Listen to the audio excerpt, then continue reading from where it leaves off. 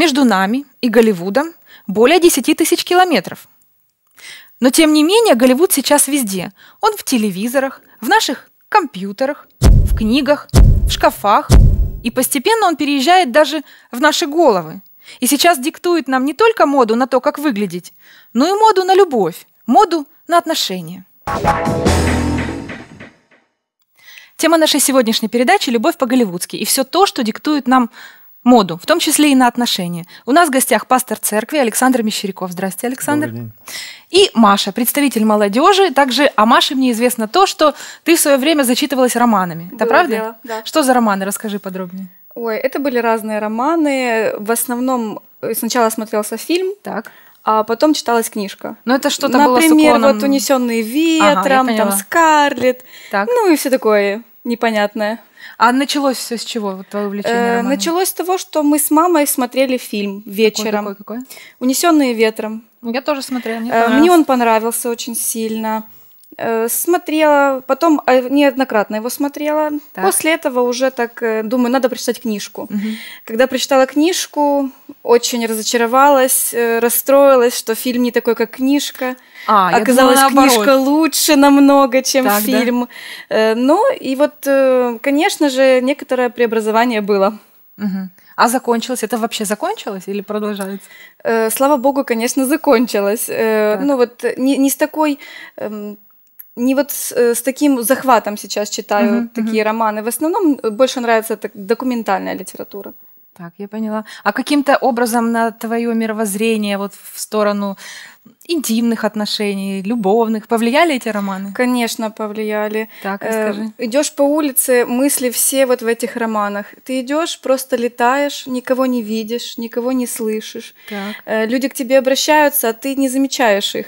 Но такой момент еще, что читая, ты переносишь себя на главную героиню. Ну, правильно. И да. начинаешь искать такого же человека. Думаешь, вот, а, ага, может быть, у меня в жизни будет так же само, как и у нее. И тут-то и возникает проблема. Да, Потому что таких не бывает. в Такие есть только принципе, в да.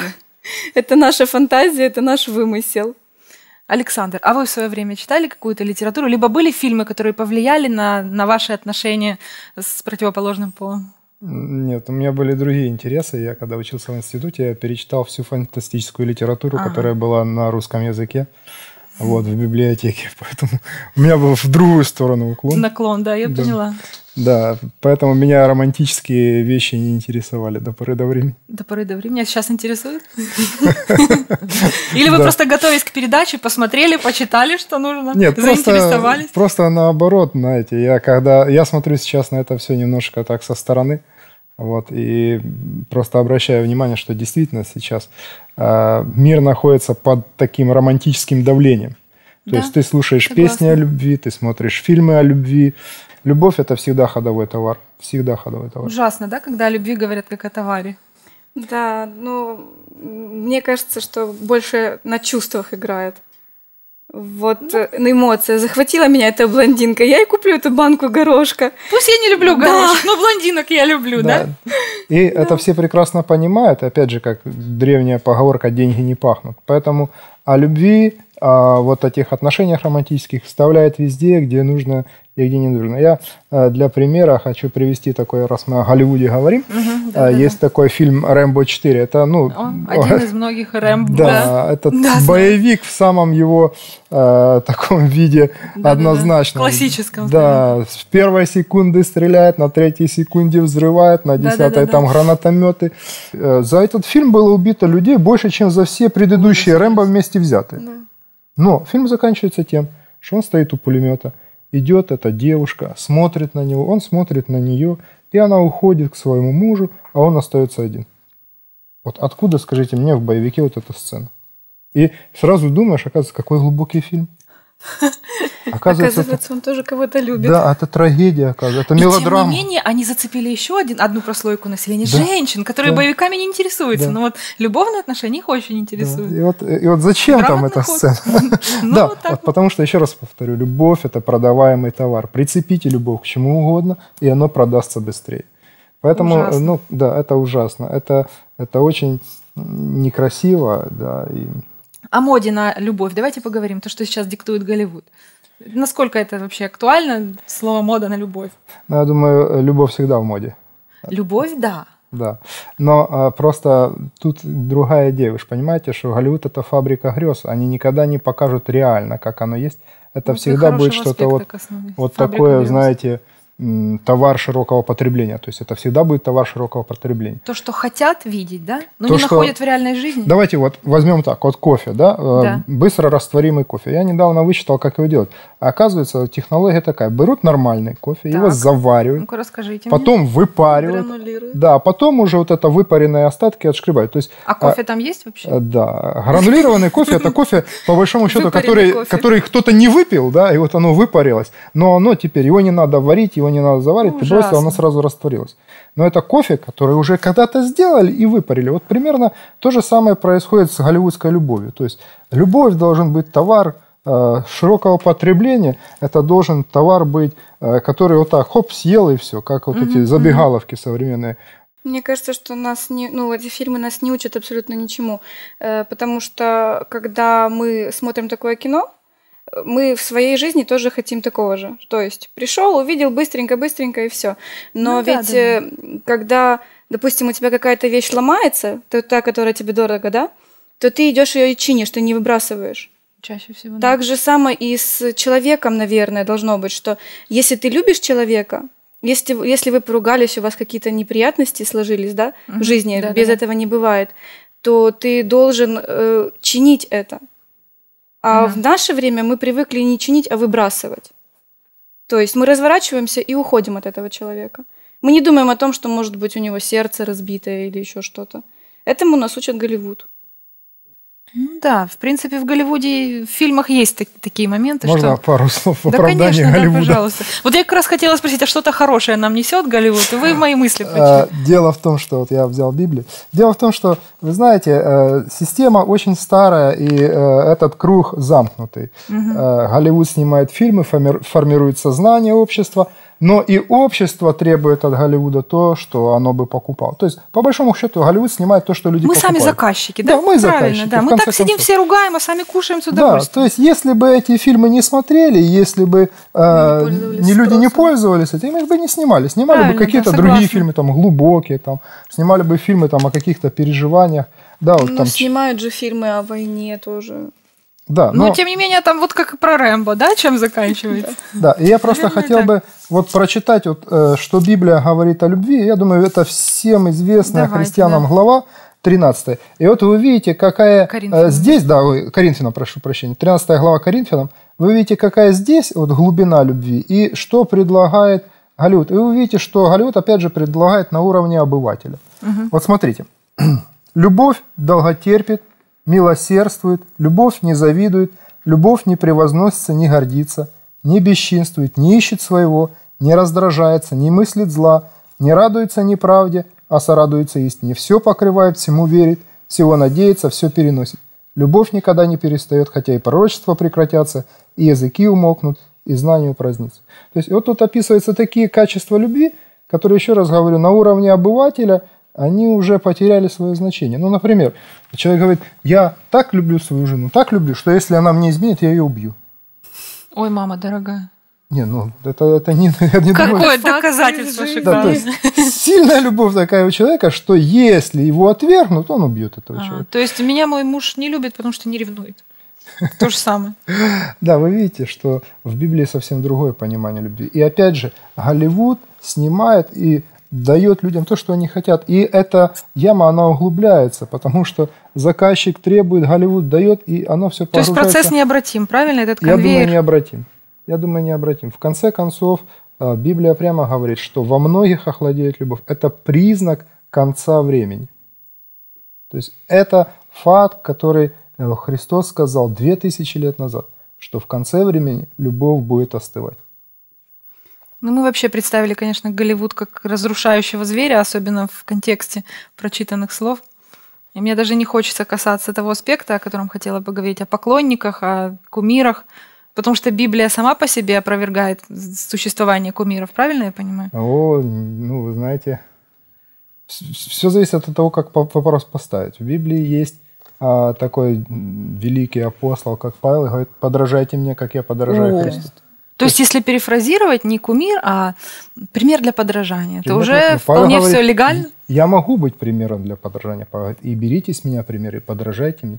То есть я не вижу э, именно в том, чтобы подражать человеку, там, сознательно, стараться по- повторять его, э, ну, разумно, здраво. Я не вижу в этом ничего плохого.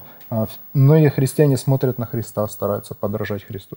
Многие читают Библию, видят эпизоды каких-то библейских героев и стараются повторять их поступки Так. в своей жизни. В этом нет ничего плохого. Плохо, когда человек э, это делает бездумно, фанатично, не вникая, не делая выбор а сам для себя, который на самом деле не видит а, глубину, а видит вот эту мишуру, а, вот эти звездные актеры. По большому счету, почитайте э, о их жизни за пределами сценической Ну, площадки. большинство из тех, кто поклоняются, уже применю это слово, звездам Голливуда, да, искренне влюблен, считает, что их чисто, чувства чистые и искренние. Они уверены, что это чисто, это, в этом нет ничего плохого. Вот я действительно люблю его, допустим, да, вот какого-то там персонажа, какого-то героя. Они считают, что это любовь, в этом нет ничего плохого. Как таких людей переубедить? Которые пишут этим звездам, смотрят, сидят перед компьютером, перед телевизором только на них, а вы ориентируются пробовали когда-нибудь переубедить человека, который кого-то любит? Да нет, в том-то и дело. А и меня пробовали, не получалось. Не получается. Вот в том-то и проблема. Я думаю, что э, можно говорить человеку какую-то информацию, э, призывать его к каким-то решениям, но решает сам человек. И по большому счету, э, самым лучшим методом, много есть методов, когда человек видит э, реальность того, что это за люди в реальности.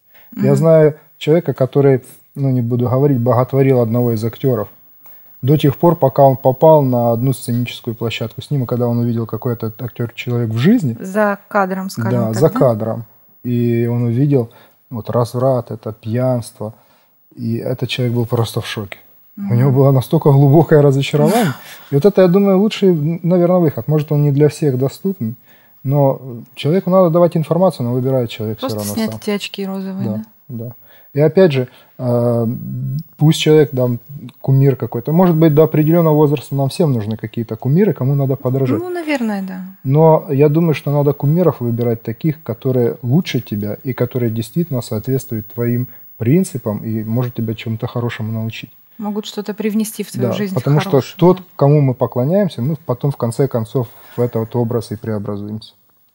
Маш, а вот твои романы, которые ты читала, да, они каким-то образом сформули- сформировали в тебе образ того идеального мужчины, идеального принца, скажем так. Сейчас ты придерживаешься этого мнения или все-таки не ищешь больше Ретта Батлера или кого-то там еще? Совсем-совсем или все-таки какой-то осадочек?